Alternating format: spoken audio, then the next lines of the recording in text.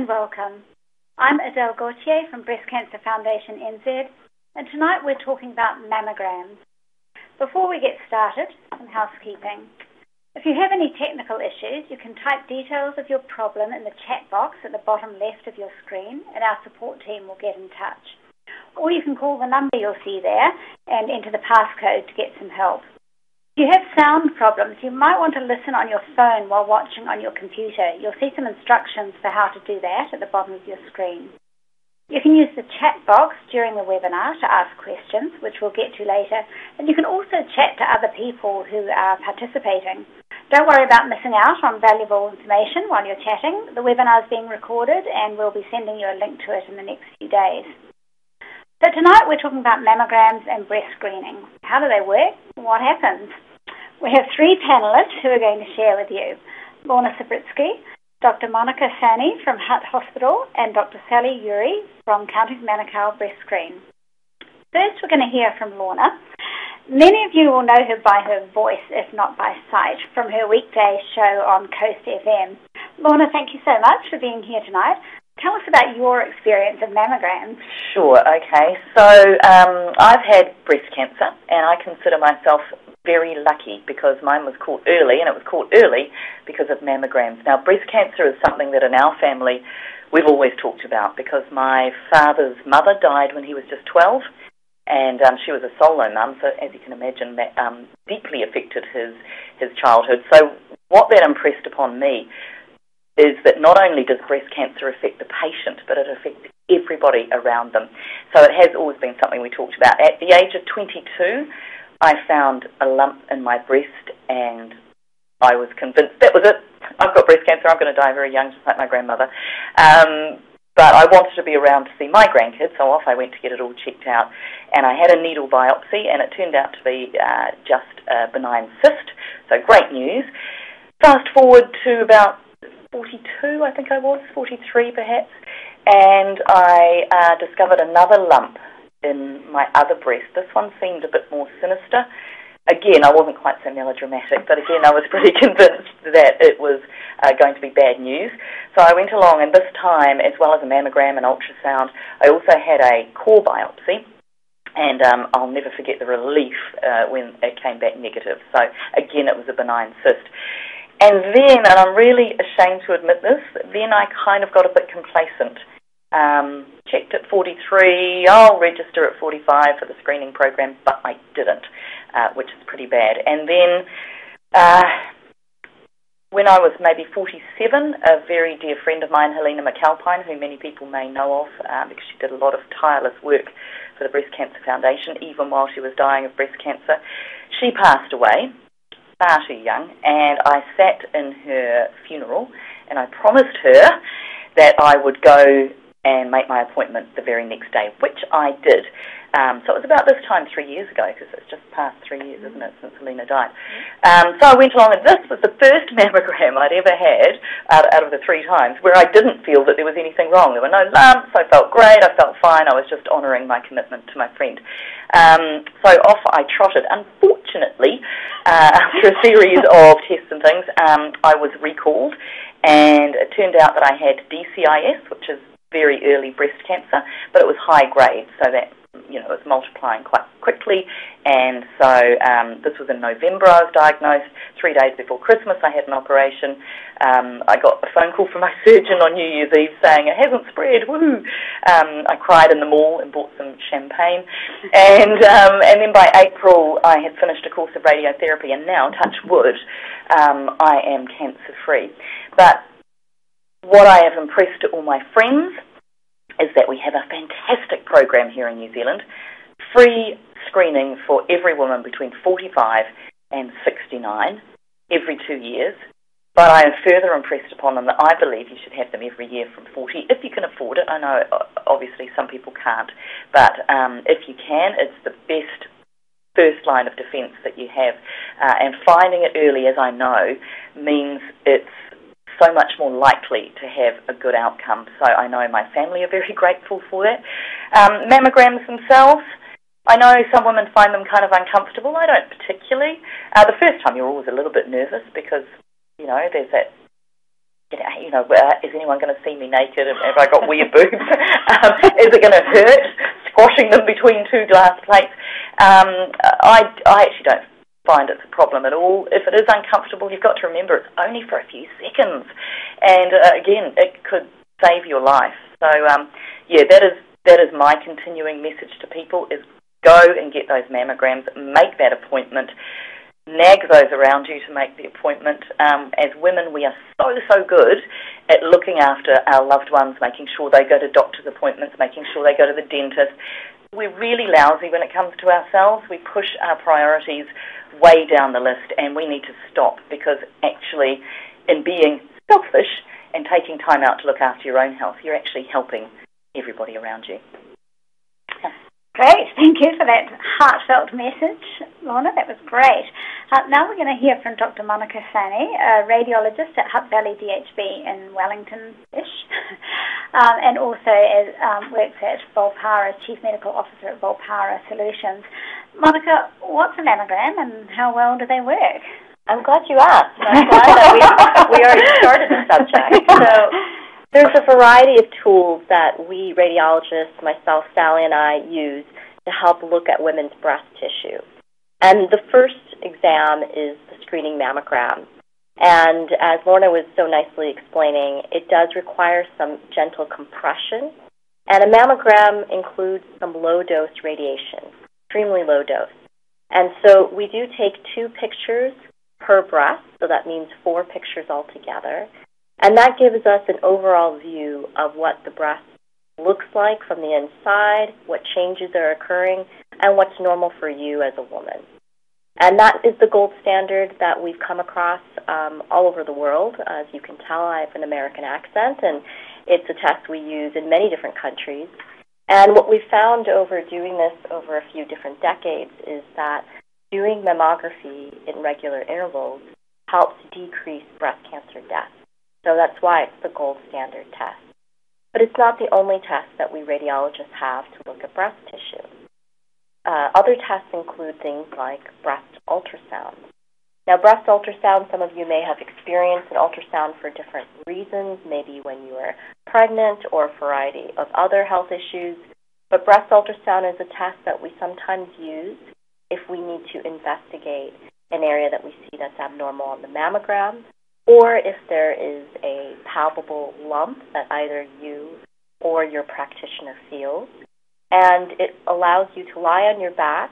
It doesn't use radiation. In fact, it uses sound waves, and it generates a nice gray picture for us to look at. And it's fairly easy to perform in the office. So we use that oftentimes in conjunction with the mammogram. The other test that you may also have heard of is a breast MRI. Now, this is a test that requires um, a magnetic field, so there's no radiation as well. You lay on your stomach rather than on your back. It takes about 30 to 45 minutes, and it does require an injection of colorless dye. Now, this is a test that we reserve only for particular patients.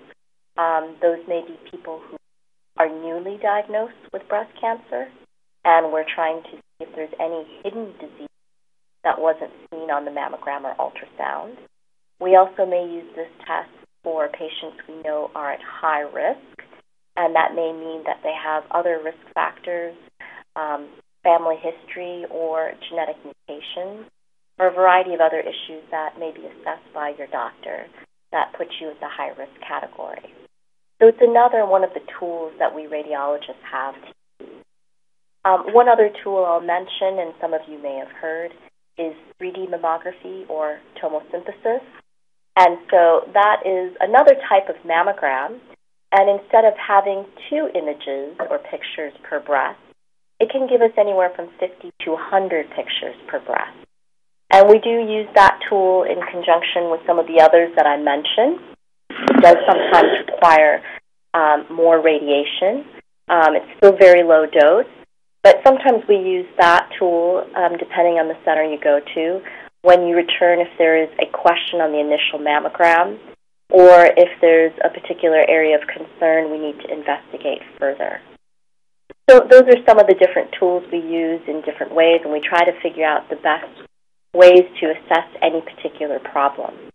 But as I mentioned, the first test and the first line is having the 2D mammogram that I first started talking about. Now, in addition to that, another topic is breast density. And some of you may have heard some more about breast density. And this is an area of new and exciting research for us in radiology. And as you can see on the slide we provided, those are examples of different mammograms from different breasts. And on the left side, you can see an image of a woman who has a very fatty replaced breast or fatty tissue, and that's mostly gray. Whereas as you move towards the right side of the slide, you're seeing mammograms with women who have more dense or fibroglandular tissue. So what we've found is that breast tissue is composed of two types of tissue, fatty tissue and fibrous or fibroglandular tissue. So we know that when you have more of the fibrous or white tissue, it does make it a little harder for us to find cancers on those type of mammograms. And that's because there's a masking effect. So fibrous tissue looks white, as you can see on the mammogram on the far right, but cancer also appears white. So it can mask a cancer. Another way of thinking about it is it's like looking for a snowball in a snowstorm. So this is an area of research where we radiologists are trying to find different ways to identify cancer in these type of dense breasts. And we're still doing a lot of research and we don't know right now how many patients in the population in New Zealand have these dense breasts. And we're looking at when that is identified, what different type of tests we might be able to do. In some parts of the world, that may include doing a test like an ultrasound to look at that dense breast tissue. But it's an exciting area of research.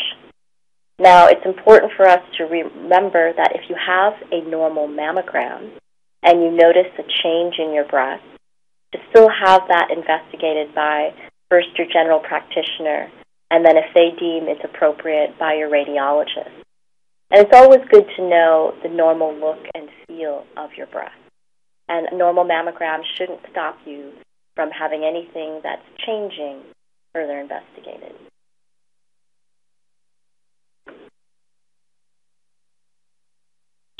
I am. Okay. Great. Thank you so much, Monica.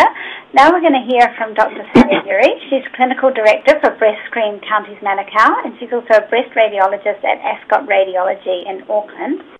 Sally, tell us more about screening mammograms. Who's entitled to them, and how can we prepare for them? Thanks, Adele. Evening. I uh, want to talk about the number, of the areas of screening that are accessible in New Zealand. And by far the most well known is the screening program run through Breast Screen Aotearoa, which was established in New Zealand at the end of 1998, and it's free to all eligible women. It's a well women service. It's not about women turning up with lumps and symptoms in their breasts. And it's the Lornas of the uh, world and it offers free screening mammography for all women at two yearly intervals between 45 and 69. There are eight different lead providers in the country, and uh, so there's a geographical, uh, there's a slide showing the areas of the country that are covered from uh, Cape Reinga down to the bottom of Stewart Island. And in through through Breast Screen Aotearoa, we have a number of fixed sub-sites. Some of these are related to DHBs or district health boards, and others are related to private locations. And we also have mobile vans. And there's a second form of screening that exists in New Zealand, and that's uh, you.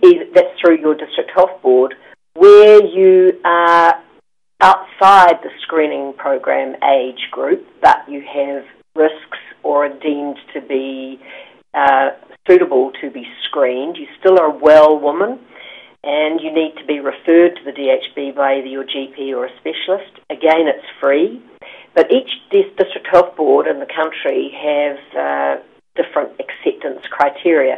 They're not that different, but there are some unique uh, aspects. And then, of course, the third type of screening for breast cancer in the country can be accessed through private radiology providers, of which there are many in uh, almost in most rural loca- uh, urban, I'm sorry, loca- locations. So as Monica's talked about, what's a mammogram? It's a radiology test. It uses X-rays to take pictures of your breasts. You'll be asked to take the, the, your top clothing off, your including your bra, and you'll be offered a gown to wear whilst the study's being performed. It'll just be you and the MRT or radiographer, same same terminology for who's always a female in this country, um, in the room. Although there's always an opportunity to have a support person with you, and that person will usually be asked to wear a will, always be asked to wear a lead um, protection apron. The MRT takes those four uh, pictures, two pictures of each breast, side to side and top to bottom. Compression, squeezing, really painful but uncomfortable. And take it any size. We can cope with any size, big, small, and in the middle, and also any shape screening. And how do I prepare? Well, you can you you can come with a family member to use as an interpreter if that's what you need. Also, it's often a quite a good idea to be five minutes early if you can. And uh, tell us when you make the appointment. This is either with Breast Screen Aotearoa or at a private provider or at the DHB.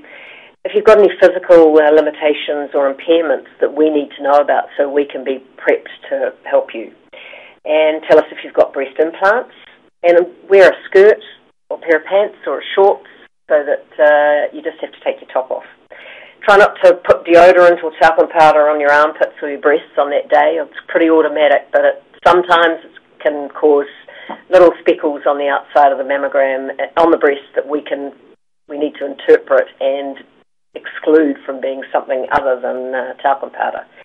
And if you've got previous images from any other source, be that on disc or uh, be on the film the film um, medium that we used to use. We still like to see those, and they're useful for you to bring along.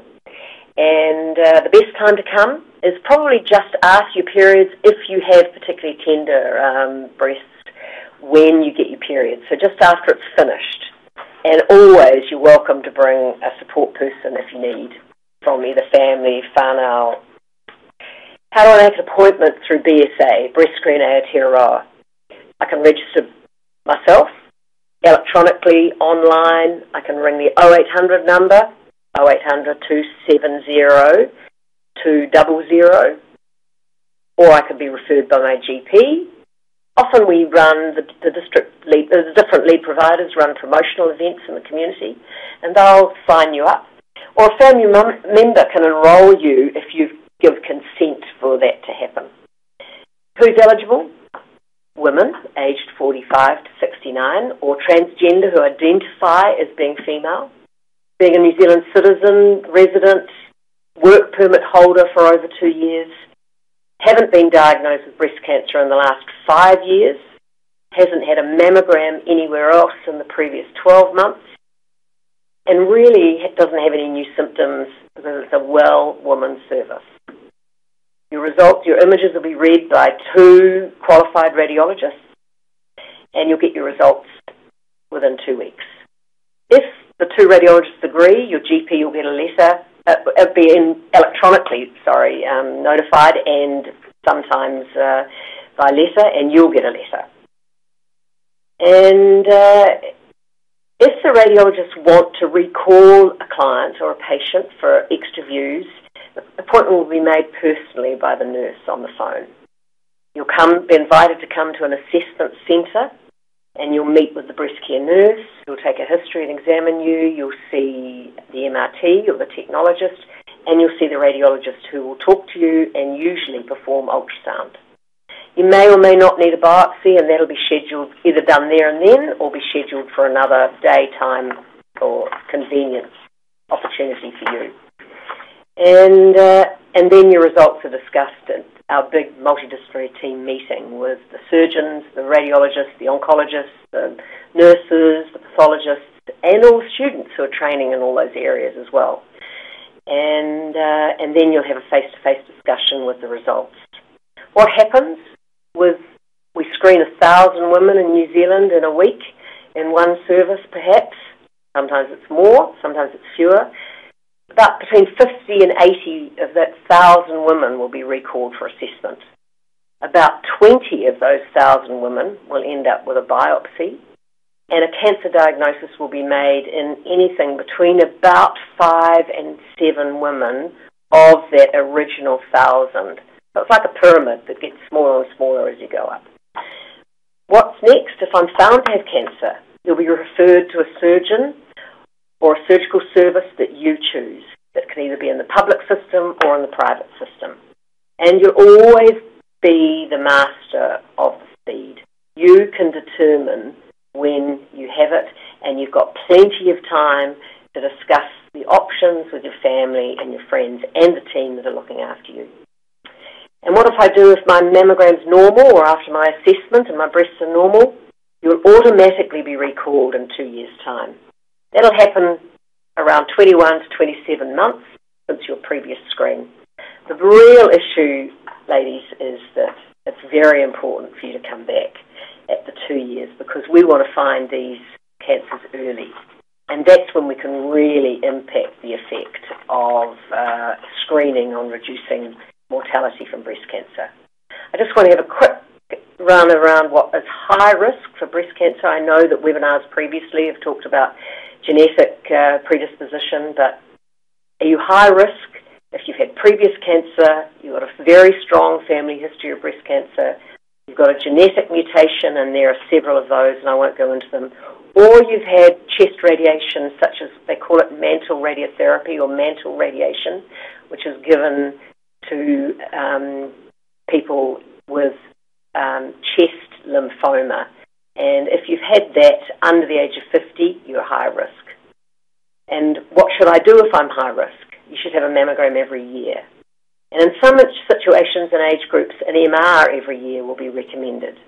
And how do I access these? Again, your high risk screening can come through the DHBs or through the private radiology practices with referrals from your GP or specialist. Another question that's quite common is can I have my screening as a high risk person every year on one of the mobiles? We'd all love, as clinical leads for the breast screening program throughout the country, to say yes. Unfortunately, at this stage, we don't have the capacity to that to do that. In in the northern half of the South Island, they are offering high risk screening on the mobile in some parts of that part of the South Island, particularly in the geographically challenged areas. However, that's a work in progress and it's something that uh, we all want to look at and to be able to add. That's all I've got to say, uh, unless I've got more questions. Great. Thank you. Thank, thank you so much, Sally, and thanks to all three of you. That's been really great. We're now going to open up to some questions from you at home. You can type questions in the box at the bottom left of your screen, and we'll get through um, as many as we can in, in the time available. Um, I do have a couple sitting here. The first one for Monica. Uh, Monica, could you please um, revisit the sensitivity of 65% and, and explain a bit more about what that means? Sure. So when you look at the sensitivity, which means the ability to find cancer on traditional mammography, it's somewhere between 85 to 90 percent, um, which is quite excellent, and that's in all women. Um, one issue we've come across when I mentioned the more dense breasts is that the sensitivity does go down, so it can go down to as much as 65 percent. And that's an area of concern that we may not be able to as easily see breast cancers in those women with dense breasts. And that's where we're trying to do further research to see how we can better do complete testing in those women. Thank you. Um, Sally, maybe one for you. How long does it take to have a mammogram? Well, usually your appointment will, if it's in the screening program, will be scheduled for between 12 and 15 minutes.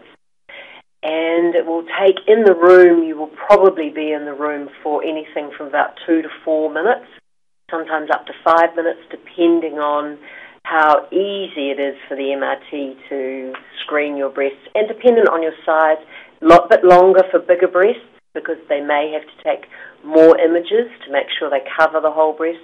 A little bit more for implants because we need to take more views of the breast to make sure that we cover the areas of the breast as well as assess the anterior, the front of the implant. So, and then the MRT needs to check that they feel the imaging that they've done is diagnostic, is adequate enough, and we look for excellence every single time from an MRT, but is adequate enough for the radiologist then be able to interpret the images. Because if we're not given the best quality, it doesn't matter how much good equipment we've got. So we're terribly dependent upon the MRT. The girl who take the woman and lady girl who takes the images, they're all specifically trained and they're great support people, and they uh, they're, they're part of the journey. I think the thing about screening about mammography, it's such an intimate uh, thing to have done to your breasts. And you are meeting strangers. And it's a huge leap of faith by, the, by women coming in which, whichever ven, venue they come into, whether it be to breast screen Aotearoa, be it into a private practice, be it to a breast clinic in a district health board, with a normal breast or with a symptom in your breast. And it's also, there's always a, not always, but in a lot, with a lot of women, there's a raised level of anxiety when they're coming for a screening mammogram, particularly if they've had a past history of breast cancer or they've got a family history. But that doesn't mean that, and, and just that's another side about family history, only 10% of the breast cancers that are diagnosed in the country every year have a family history, which means there are 90% of the cancers with no family history. So the that intimate relationship with the MRT, the radiographer, is critical, and we in Breast Screen Aotearoa and in the training services, teaching and tutoring and educating our staff, and then ongoing support we really value uh, the trust that every single woman puts in them and then puts into, into the nurse and the radiologist who may see you subsequently if you have something of concern. So I take my hat off to all the women who come for mammograms and I take my hat off to all the staff who look after women and that goes for everyone, including the people who are promoting and asking you to come for breast mm. screening. I've found everybody that I've dealt with absolutely fantastic and very reassuring and very warm, and the process pretty quick. In and out in half an hour, something you can do in your lunch hour. Yeah. yeah. And there's a lot of trust around it, and I think, again, as we uh, want to emphasise, there's a huge amount of confidentiality that goes on in all aspects of medicine. And when I talk about that MDM meeting or the MDT, where there's a lot of people, it is such a um, it's an amazing experience to be able to. I say to a lot of the women I see, well, we're going to talk to you, talk about you behind your back, and then we'll see you after that and tell you what we what we are going to say to you and recommend. But it's a very uh, refreshing and humbling experience to work in a team like that with all the experiences that come. And all the perspectives, right? With all the perspectives of the surgeon, the oncologist, um, everyone coming together to really come with a unified approach. I think it's a really good thing for women. So one can. So, so Monica, um, what a question for you? What additional information does an MRI or ultrasound provide that you don't get on a mammogram? So let's start with the MRI. That's kind of the big gun, I call it. That test, because we give the IV dye, gives us a lot of information looking at blood flow through the breast. And, and that's particularly one of the reasons why it's so sensitive and its ability to pick up breast cancer is greater. Now, the reason why we reserve breast MRI for only specific appropriate patients is because that sensitivity can also come with some downsides, which is false positives. So it's a great test to use for a woman where she's at high risk. As Sally mentioned, um, some of the criteria for what high risk is. So the mammogram alone may not be enough.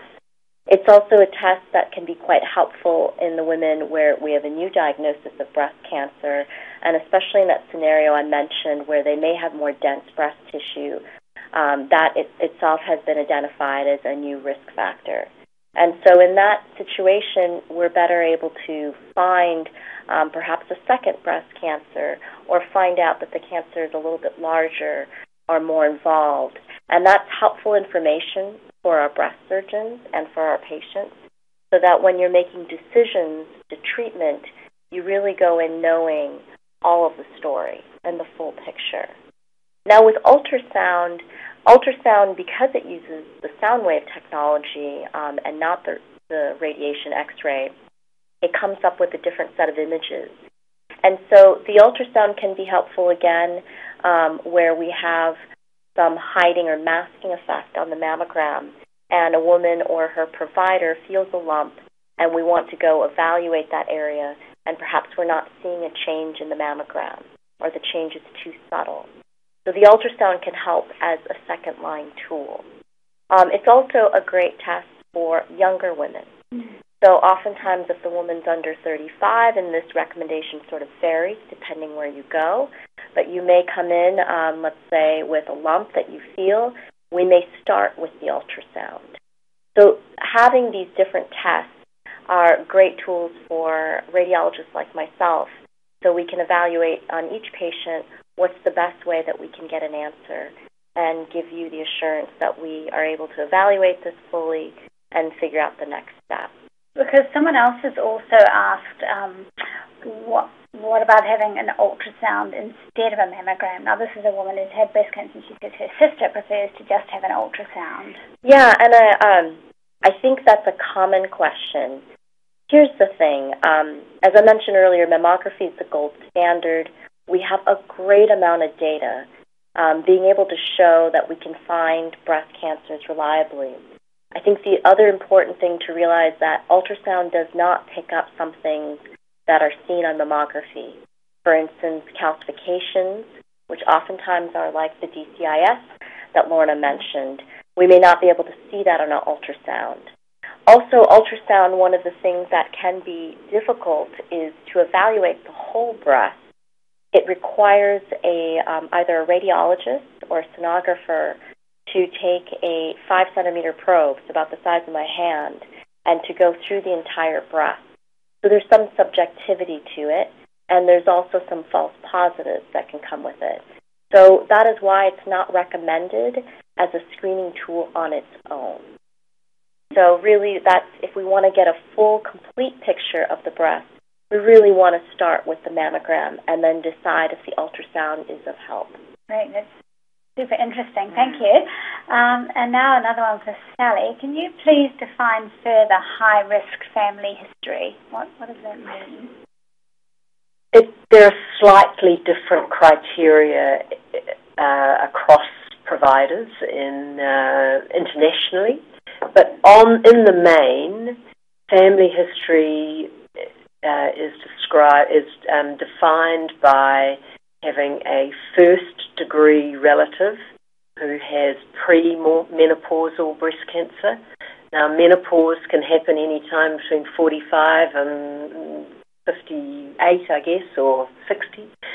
Commonly around uh, in the early 50s to mid 50s. And there's nothing magical about when or not you get menopause, and there's nothing magical about menopause changing the entire story in your breast. But it's just one marker. So if a woman has a sister or a mother who has developed cancer, breast cancer, younger than 50, for example, or 55, some services use, that's classified as high risk. If you have a first degree relative who's had bilateral breast cancer, regardless of age, that means in both breasts, that also increases your risk. Um, and that is really about it in terms of high risk family history. Right, thank you. But in saying that, there's always an art to the definition, And the discussion, if you've got concern, the discussion is always worth having with your general practitioner or your specialist or your radiologist if you happen to see him or her at the time of the study. Great. And actually, our breast care nurses here at Breast Cancer Foundation can also run through the genetic health service checklist with you and refer you on if necessary. So do give us a call and we'll have that number up at the end of the webinar. Um, now, um, a couple more sort of technology type questions, Monica, which I'll hand to you. Um, what are, are, you using contrast mammography, or is anyone using that? I guess, and are you using tomobiopsy, which is not something I'm familiar with? Um, good questions. So, contrast enhanced mammography is not a tool I discuss because I'm, I'm not aware. Sally, do you have no. anyone? Okay, no. so as far as I understand, no one is yet using it in New Zealand. However, it looks like it could be a really excellent tool. Uh, a number of colleagues are using it in Australia, in the States, and in Europe. And it's again a test where an IV injection is required. And some people are looking at using this test for women who are newly diagnosed with breast cancer. Some people are also using it for lumps that there are no findings or nothing that we can see on the mammogram and ultrasound. So they sometimes use it to do something we call problem solving and trying to see if there's something hiding in the breast tissue not visible on the mammogram or ultrasound. And with the use of the contrast injection, it sometimes uncovers maybe what's going on in the tissue. So at this time, no one's using it in New Zealand, but I think it's a very promising technology, and I think we may see some more providers starting to go that way. Mm-hmm. The other benefits of that test are it's significantly cheaper than a breast MRI in most places it's easier to access because an MRI machine is a rather large and expensive machine and it needs quite a bit of equipment and personnel to run it. Mm-hmm. And so, whereas a contrast enhanced mammogram could be performed pretty much anywhere where you could do a mammogram. Right. So, that's some of the advantages. And then remind me, the second question uh, was tomo. oh, tomo, okay. Mm-hmm. So, the 3D mammography or tomosynthesis, those are the same things. Um, when you take the additional, let's say 50 to 100 images, and you find something in one of those images, then you want to go and see if you can biopsy if it's suspicious. And if you can't see it on the regular mammogram, usually the next line is to go do an ultrasound. So now that you've really figured out where it is in the breast, um, most of the time we can usually go and find it on the ultrasound and do a biopsy that way. And um, when doing a biopsy, ultrasound is usually the preferred method because it's so much more comfortable for the patient. You get to lay on your back. Um, it's just easier and it's quicker. Um, tomosynthesis guided biopsy, where we don't see it on the ultrasound, is another tool where basically you're using the 3D mammography technology and then putting the biopsy capability. And there's a few centers, I think, around the country that have that, but not many um, that do. So honestly, there are other ways for us to approach this problem. And then if we can't find it on ultrasound um, and not on mammography, then sometimes that's where we consider doing an MRI test if we don't have the tomosynthesis guided biopsy technology. Okay, great. Um, and now um, another question, which maybe the, the two of you might like to discuss. And apparently, a couple of people are having trouble hearing us, so if we can ah. just try and um, speak out. Um, the, um, here's someone who says, my breast physician recommended annual mammogram and ultrasound for me from age 40. Um, and of course, the free service starts at 45. What are your thoughts on this, and is this a generally accepted thought? Lots of discussion points there. was sure. Um, so this is a very complicated, you know, question and complicated answer. So let me start with there may be a variety of reasons that your um, physician recommended this. Um, one may be that they're having difficulty with the breast exam, which is not uncommon, where it's hard to determine what might be a normal lumpy area of breast tissue as opposed to an actual physical lump. And sometimes in challenging breast exams, um, sometimes providers look at different tools to try to answer that question. I think, you know, for the asymptomatic woman who's not having any issues, I think doing, you know, starting with your screening mammogram and going on your every two year schedule is perfectly acceptable. Now, if you have risk factors, as Sally mentioned, then that puts you in a different criteria where you might be getting yearly mammograms and even, as Sally mentioned, yearly MRI. So there's different ways for us to kind of address these type of issues or symptoms. Um, I think what's not known at this time, and that's why you're going to find a lot of people recommending a lot of different things, is what if you're not high risk? What if you're not average risk, but there is some concern you have some risk factors um, that don't put you in the high risk category, and now what do we do? So that's why you're seeing a variety of approaches, and where some providers might be recommending to start your mammogram at 40, which clearly you can do in private. Um, and the ultrasound, obviously, you can do that, but that's not always affordable and feasible or accessible to everyone. So I think you know, trying to give you a blanket recommendation without knowing maybe all of the different things in your history is difficult to do. So each woman may want to have that discussion with her provider of what are her risk factors and what are the things that would best help her find breast cancer earlier and give her assurance that everything is okay. Mm-hmm. Uh, just to add, uh, I agree with everything that Monica said, but there is uh, there are a number of screening programs throughout the world who start screening at 45 but offer screening from the age of 40. There are also a number of providers and involved uh, uh, parts of the breast uh, awareness program that talk about starting breast screening at 40. And it's not wrong.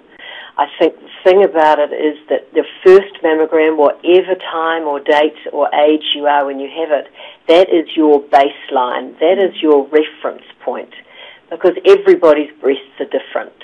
Everybody's hands are different. Their fingerprints are different. So you always, it's much easier to read the second mammogram or the third mammogram or the fourth mammogram because you've got the baseline and you know where you started from. So the regular screening mammography from the age of 40 is commonly recommended in New Zealand and everywhere else in the world. It doesn't mean that it's wrong that the breast screening program doesn't start at 40. At the end of the day, the Breast Screen Aotearoa is a publicly funded screening program and we are targeting the higher incidence of breast cancer and with all the stats that we have at the moment, nationally and internationally, 45 to 69 is where the money is. And it is that women under 45 get breast cancer. There's no doubt about it. However, the proportion of women between 40 and 45 who develop breast cancer, I'm not talking about the significance of it to them or their families or their communities or their employers. It's about the fact that the number of them is you have to screen a lot more 40 to 45 year olds to find the four cancers in every thousand that we find between 45 and 69. It's not my um, gig in terms of making those decisions, but I get involved in asking the advice around it and I guess at this stage in my career, that's where I stand, and the majority of us do. But great question. Yeah. great issues. it is. And, and Breast Cancer Foundation, many of you will have seen that we say consider starting at 40 and going annually till 49 and then every two years. But discuss that with your GP uh, as you say, get that baseline and go from there. We'd also say if you're in an area with more than one private provider and that's the way you're going, ask around and get um, and and shop smartly because prices do vary quite a bit actually, and, and, and many are using the same equipment. So check that out too. Uh, we have several questions here about another controversial topic, thermography, um, asking what is it, does it work, and why don't we use it in screening? Wow. I'll let you start. Thermography is a technique that assesses heat Makes sense, doesn't it? And cancer of any sort, in the main, the majority of cancer anywhere in the body is a vascular structure, which means it has a lot of blood supply. And the concept of thermography is that if you've got a cancer, if you have a cancer developing in your breast, it will show as a hot area on your thermogram. I think I might just leave it at that. Uh, in terms of what I would recommend, international studies have shown that there is no repeatable, um, what's the word I'm looking for, randomized control trial that proves that thermography actually finds breast cancer. And the reality is, in my opinion, and there is a statement from Breast Screen Aotearoa, a national statement, which I'm sure we can pop on the uh, website for the webinar. It's on the website, but we can add it in the webinar. It's uh, about our position on uh, thermography, and it raises more questions than answers in some women, and in the other women, it creates security that may be artificial. Would, so would I be right in thinking that something like DCIS, which is so small and so early stage, uh, unlike absolutely, yeah. So by the time it becomes big enough to perhaps show um, any heat, it might have progressed significantly.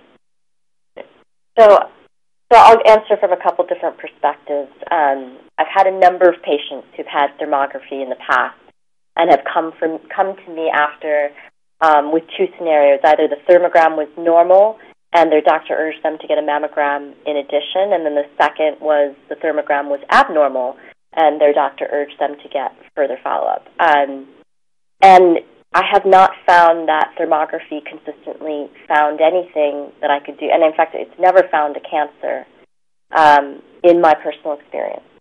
And so a number of times we would have patients quite panicked coming in with a hot spot or two on a thermogram, and we would maybe at most find some inflamed cyst, which also can have some vascular blood supply to them. So, um, you know, my concern is that you're not reliably finding breast cancer, and I, you know, patients walking away just getting a thermogram are not actually having their breast screened for breast cancer. So much so that in the U.S., um, the Federal Drug and Food Administration has forced people who provide thermography to remove breast cancer screening from one of their advertisements. You can't say it's a screening tool. And mostly for what Sally said. We don't have any consistent data that has shown that we can find breast cancer reliably. And I say this from a perspective of having lived in a community in the U.S. where we looked at a lot of different therapies, and I have a lot of patients who are interested in alternative therapies, and I think alternative medicine and complementary medicine has its place and really great tools. Um, but this is not something I consider alternative medicine because I don't see that there's any data to support it, and it does not find breast cancer. So I think you have to be cautious when you go down that way of looking for additional ways to take care of oneself, make sure that there's good data and good evidence that you're going to actually look at your health reliably mm. and find the answers you're looking for. Mm. And Lorna, maybe um, one here for you. Um, you've had surgery for DCIS yes. and so on, so and now you're going back for regular screening. How do you mm. kind of handle that from a stress point of view? And I've got to say the first uh, the first screening I had um, post my surgery and my radiotherapy, I was very nervous. I was very anxious. Um, and I'm a glass half full kind of gal. um, but I think it's only natural. I also knew that a friend of mine who had had exactly the same experience I had had perhaps 18 months earlier, she'd had an abnormal screening the first time back. And um, she had to go through the biopsy again. Turned out to not be cancerous the second time. Um, but so I was almost prepared for it to happen and hugely relieved um, when it was fine. So uh, and I've had two more since, and everything's been fine. I think the the anxiety lessens. I guess it's with, like anything, isn't it? When when something bad happens to you, then you fear that that's going to happen again. But over time, you know, and it certainly wouldn't put, put me off. In fact, quite the opposite. I'm I'm adamant that um, even once I've I've reached my five years, um, that I will continue to have annual mammograms. Um, something I did want to ask you though, Sally, is that um, when I finish my five years, I'm not automatically back on the screening program, am I? Uh, you should be because they're the register, you are excluded from the breast screening program for that five right. years. And then, if the data has been entered accurately, which we right. is, it's a very controlled program. We've got a book of rules and targets. You will then be re-invited into the breast right. screening program. And at our, in our uh, neck of the woods, we work very, very, very closely with the diagnostic service in the breast screening, in, in the um, DHB, as happens in many other places.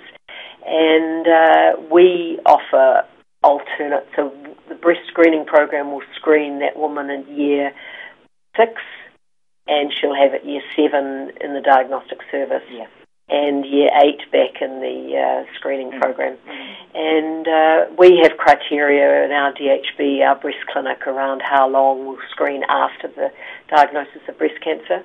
But uh, you automatically come back into the screening program if you remain eligible.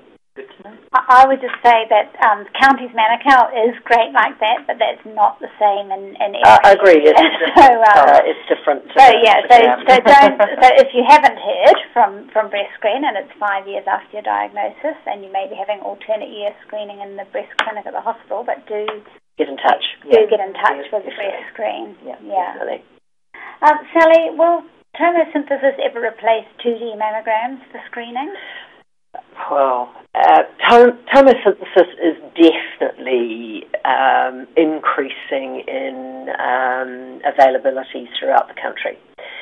There is no doubt that tomosynthesis increases the cancer detection rate. All the research that's been done over the last 10 years to 15 years in tomo have shown that. Uh, it also reduces the chances of you having to be recalled if you've had a mammogram that is read after by your radiologist, which is the case in screening program and does happen in private practice as well and in DHBs. So it means that the radiologist has more information. However, there's always a trade-off with everything that uh, TOMO is, it takes longer for the radiologist to interpret the images it doesn't take that much longer to obtain the images. Actually, we most of the uh, a, a, bit longer, but we're only talking a matter of half a minute. And uh, it's no more. It's very little uh, more, and there's, virtually no difference in radiation between a screening tomosynthesis examination and a 2D um, examination, depending on the uh, equipment that's being used and the providers of those equipment, the manufacturers, I mean. So, um, it uh, will it ever replace?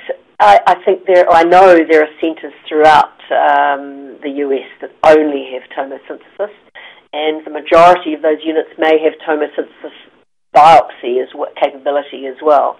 That is also increasing as different manufacturers throughout the world develop that technology and add it to their already um, 2D uh, or tomosynthesis units.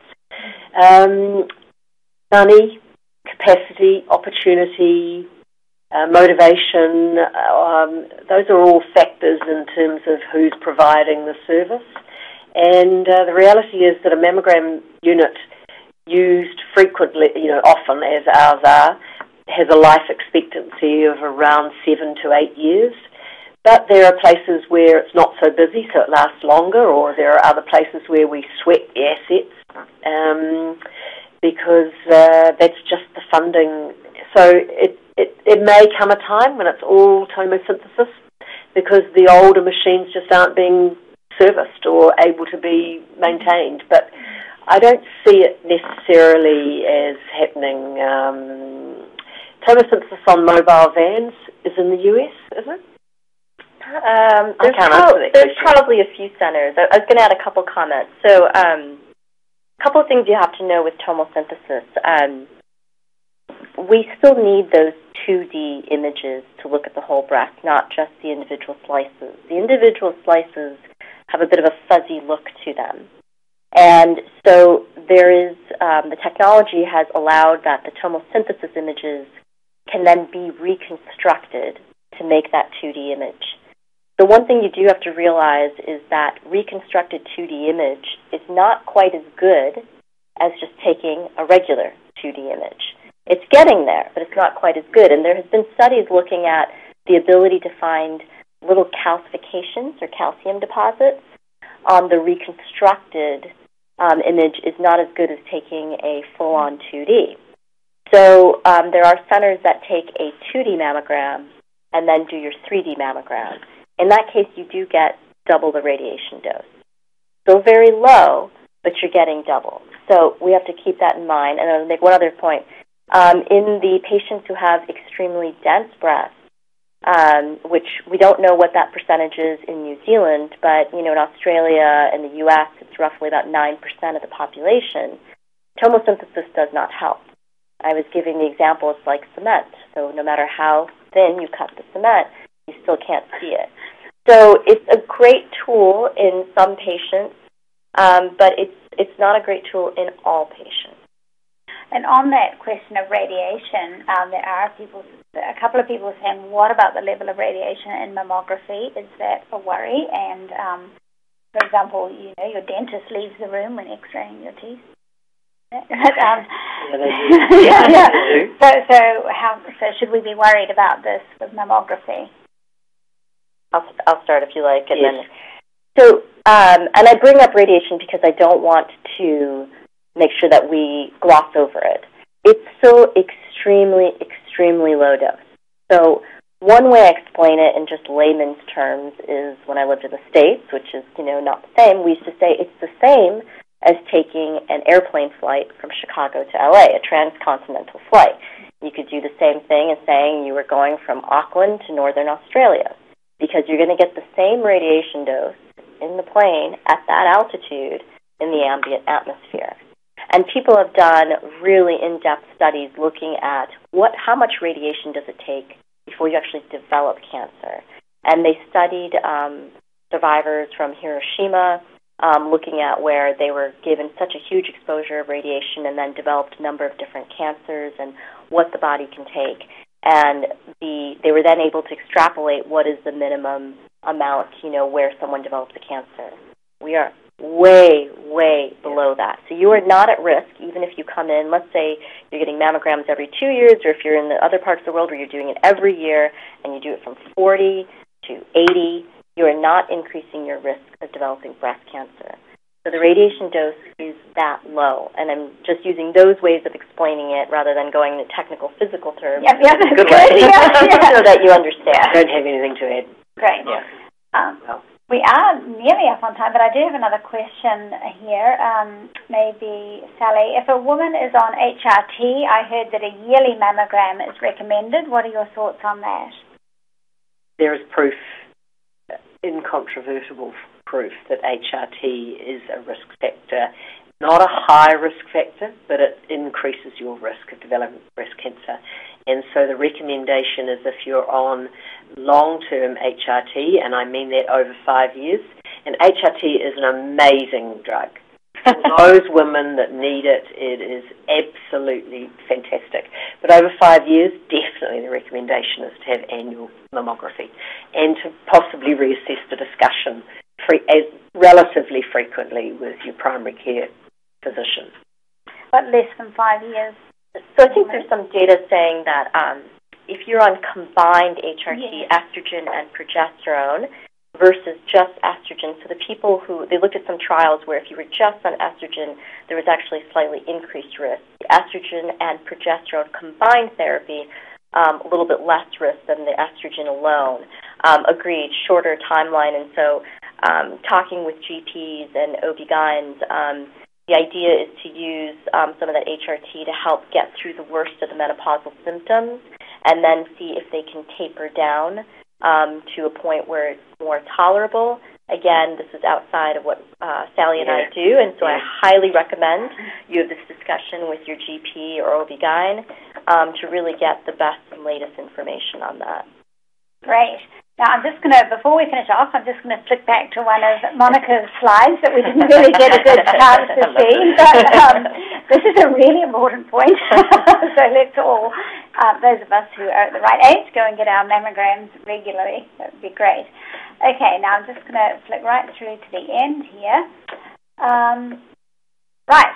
Um, thank you so much for joining us. As I said, time is up, and thank you again to Lorna and Monica and Sally. Um, we hope that you guys at home found this helpful, and we'd appreciate if you could take a moment to fill out our exit survey as you leave the webinar. That would be great. Uh, if you have any questions or about your family risk or about screening or anything else, you can call our nurses on 0800 BC Nurse during office hours.